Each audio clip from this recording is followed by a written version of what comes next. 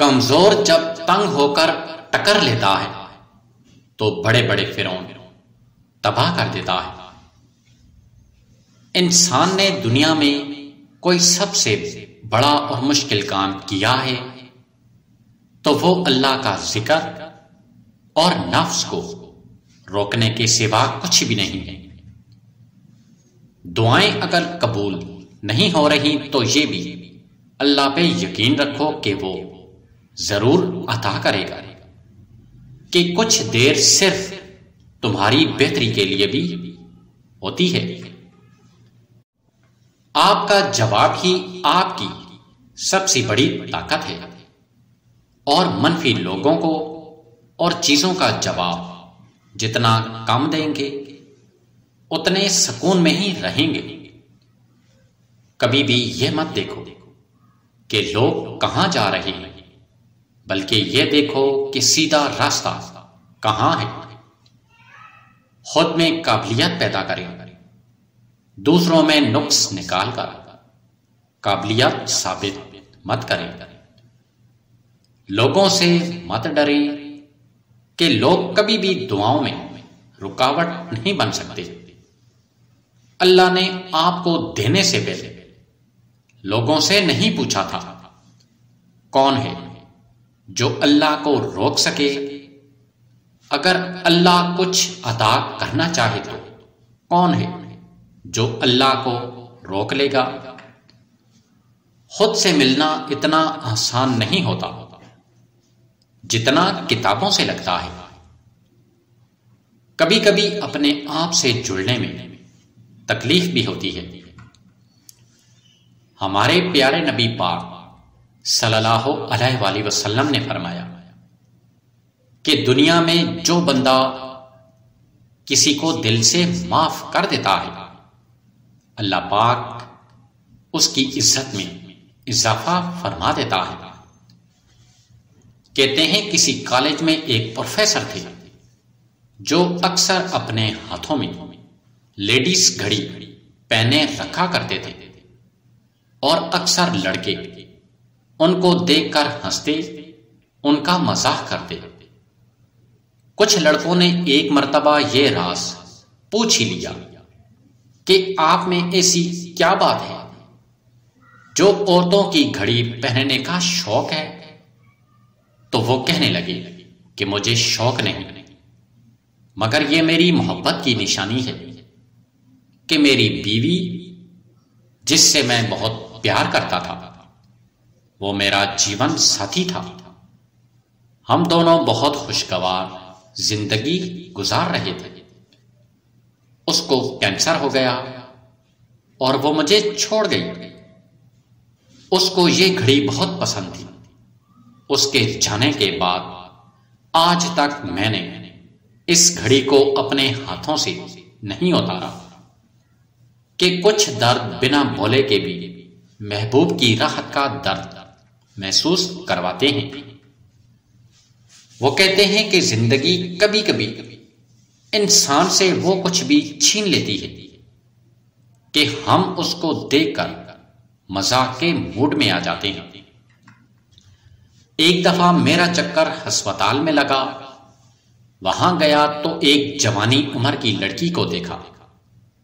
तो वो सर के बाल उतारे, वहाँ बैठी थी। सब उसको देखकर हंस रहे थे।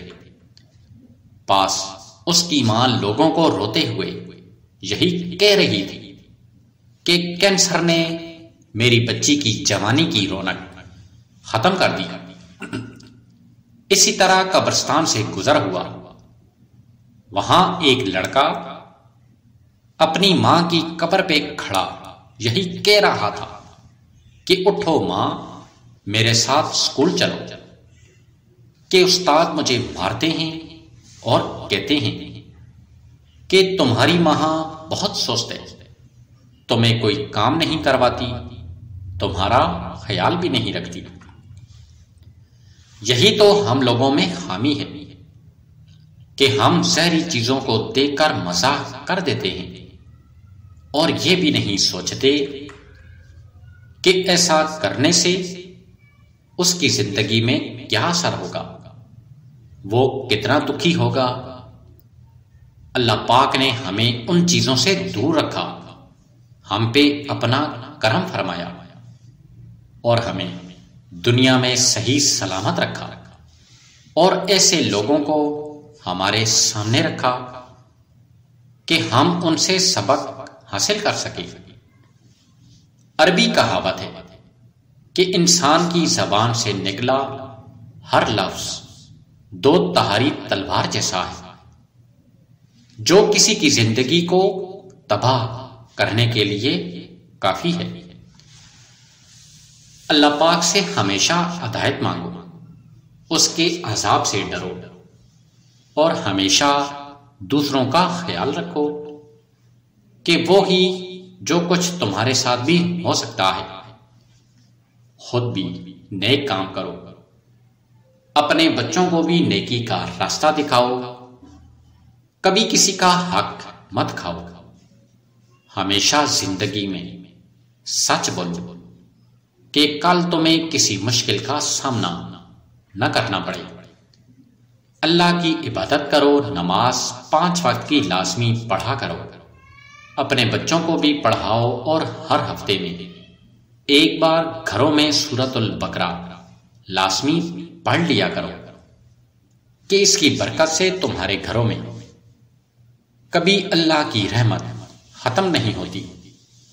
हमेशा औलाद में एतफाक रहता है और जवान औलाद के साथ साथ तुम्हारी ज़िंदगी भी बदलने लगती है और अल्लाह की मदद हर वक्त तुम्हारे साथ रहती है। और कभी दुश्मन भी तुम्हारी औलाद को नुकसान नहीं पहुँचा सकता। अल्लाह पाक से दुआ है कि वो हम सबको नेक रास्ता दिखाए और हमेशा दूसरों से हमदर्दी और नेक सलूक करने की तोफीक अदा करे। बुरे लोगों से, बुरे कामों से हमेशा दूर रखे। आमीन। इंसान कभी भी किसी चीज़ का सिला नहीं दिया करता। फिर उनके रवैयों पे अफसोस कैसा हमेशा दूसरों के साथ अच्छा सलूक करें अच्छा रवैया रखें, मुखलिस रहें, मोहब्बत करें। लेकिन सिर्फ़ रब की रजा के लिए और कभी भी वापस किसी मोहब्बत, सिले की उम्मीद मत रखना। कि सिला देना रब का काम है। पीछे मुड़कर मत देखो, कोई नहीं जानता कि दुनिया कैसे शुरू हुई। और मुस्तकबिल से मत डरो कि यहाँ कुछ भी बाकी नहीं रहेगा। अगर तुम माजी और मुस्तकबिल में ही उलझे रहे तो तुम्हारा हाल गुजर जाएगा। फिर सिवाय पछतावे के कुछ भी नहीं रहेगा।